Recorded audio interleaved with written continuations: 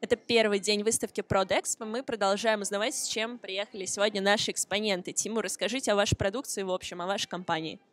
Наша компания занимается натуральными продуктами, а, которые идут на основе сахара. Находимся мы в городе Пскове. Называется наша торговая марка а, «Псковские цукаты».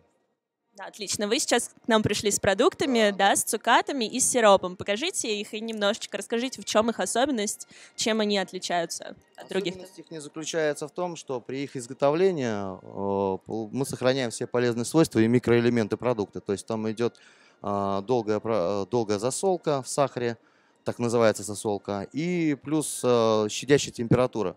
То есть при щадящей температуре сохраняются все полезные свойства и микроэлементы. Производная у нас получается, хочу вам показать, вот еще сироп а, остается у нас от, от тех, а, допустим, от клюквы, от крыжовника, остаются сиропы. Тоже на натуральной основе, без всяких Е, только состав сахар.